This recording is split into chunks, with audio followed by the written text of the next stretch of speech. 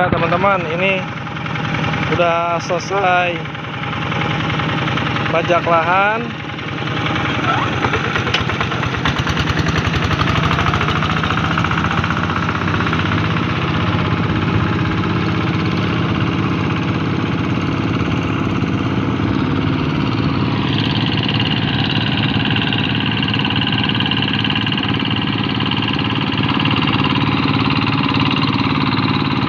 lanjut deh Hei, lanjut. Ayo deh.